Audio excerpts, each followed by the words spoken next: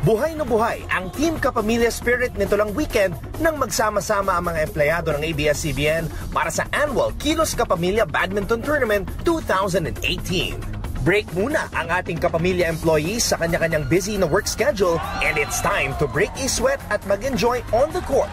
Gaya na lamang ni Gian Pantanilla na bahagi ng Customer Relations Department na talagang inaabangan ang kompetisyon. Varsity si Gian noong high school ng badminton at ngayon siya professional na, masaya siyang nadadala niya ang kanyang passion kasama pa ang ibang mga kapamilya.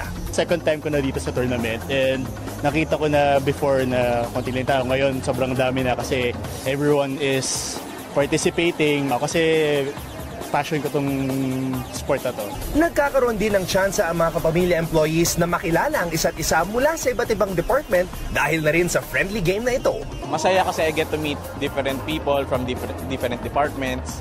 So yun, lumalawak yung, kumbaga pag may nakikita ka sa, sa loop or sa, sa office, kilala mo na sila. Pantanggal stress at bonding para kina Yeka at Maritoni ang pagsali sa Kapamilya Badminton Tournament.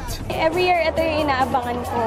So, pampatanggal ng stress sa work kasi minsan pag sa operations ka, medyo full day minsan ganon. part of it, fi- fitness, hindi rin madali eh, di ba? I mean, operational tayo. So, papatagalan din ang stress, stress. And then, to have fun din, tsaka yun, meet other people din from other department eh. Dahil sa sports, lumalabas ang competitive spirit at teamwork ng mga empleyado ng ABS-CBN. Mga bagay na kailangan para sa mas masaya at maunlad na working environment ng Team Kapamilya. For more sports updates, keep watching The Score. And don't forget to subscribe.